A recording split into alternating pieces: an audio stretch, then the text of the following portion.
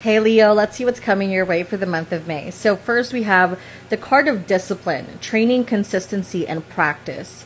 So, quite literally, some of you may be practicing a skill or really thinking about honing a certain hobby, skill, doing a training course of something. You know, you're wanting to get better at something. It could be something as simple as like, I, I keep I keep reading um, tweets of people who are like wanting to get into Pilates and they're like, damn, I didn't know Pilates was like a military training exercise. So something, I'm, I'm hearing something like that, right?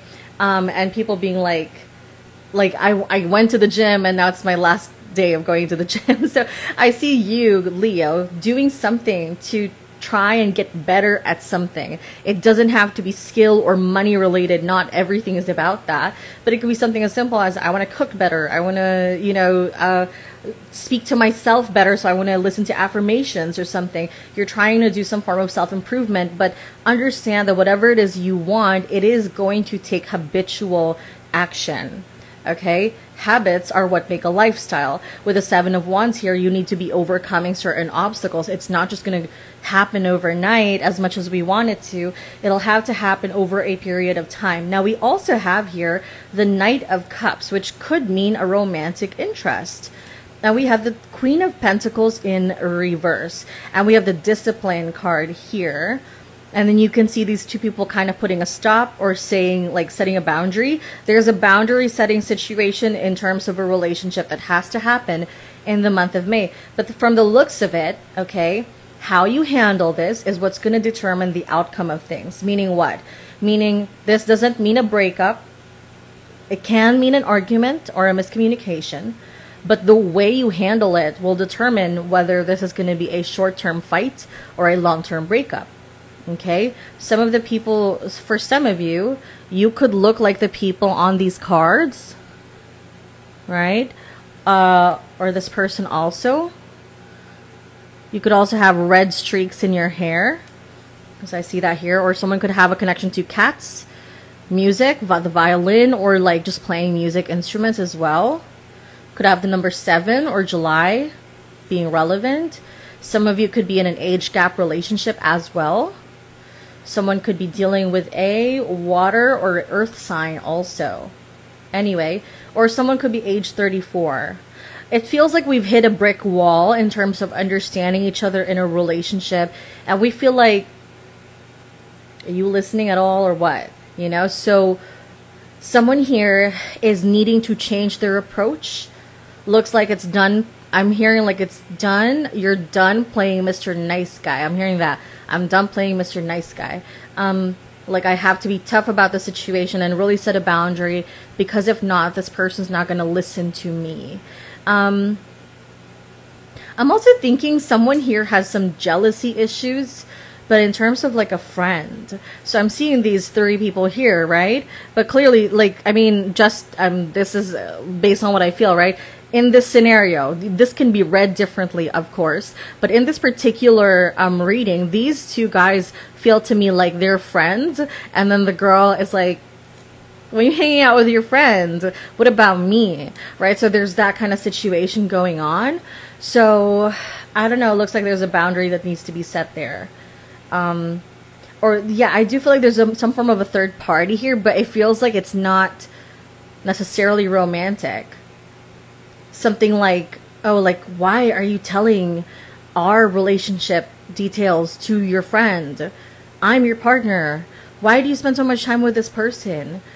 You know, like you didn't even spend time with me last time. There's something, there's an issue like that. Okay. Anyway, um, so here's the thing. You can look at this card too, and there's a storm here, right? So this kind of argument is still kind of coming up ahead, but it's not impossible to get through this. It's just that we have to talk it out, and we have to make sure that we stay on topic. Because I, I hear someone bringing up old issues and being like, this is my problem with you and this and this and this and this and this and then and then we've hit someone below the belt and now we can't take back what we said and now it's a bigger argument okay? Stay on topic. If things get brought up they can get brought up but we've got to try our best not to let it tear us apart. You're a team you're working together on this and try to resolve it in that sense okay? Whatever this is, if there's an issue, overcome it together rather than, than apart. You think the time off is going to solve it, but it's not. It's actually going to make it not necessarily worse, but if you push each other away, it will definitely make it worse. Okay? That being said, for everybody else, if you're not dealing with a relationship or your relationship is fine, right? This could be a message that's coming for select people. I still see that you may be trying to look into something in your life that you're passionate about. Okay? And almost like you're trying to fight for something you're passionate about. Oh, okay, here's what I feel, all right? Uh, for some of you, Leo, depending on what your goals are, you need to prioritize. Because I'm feeling some of you, well, you're Leo, so definitely you're into something career wise that motivates you or is exciting to you but it may it might be a little bit boring these days so an example of this would be if someone keeps fighting for a project they have in mind but it's over budget we're losing money instead of making money from this business decision. But we're fighting for this because it's our passion and we're excited for it. However it's not necessarily the smartest business decision. So you've got to make a priority or at least make a choice in the moment. It doesn't have to last forever, but at least for now, what's your priority? Because if you've got the money to make this last and it's perfectly fine, then you can keep going. But if you don't have the money for this, we might have to do the responsible thing, at least for now, and set aside something that we're super, super passionate about, but kind of stay on a course where we can be disciplined and earn what we need or kind of get ourselves in a more stable position and then pursue the path we're passionate about. Okay? There's a lot of reevaluation about priorities here, Leo, but at the end of the day, like it says here, discipline is what's most important. And the keywords are training, consistency, and practice. You'll figure it out. And also, not everything is a black or white solution or a black or white answer. There's going to be a very good middle ground if you allow for there to be. Okay? If you want to book a reading with me, make sure you book me at mediumisabella.com. I will see you next month. Bye, Leo.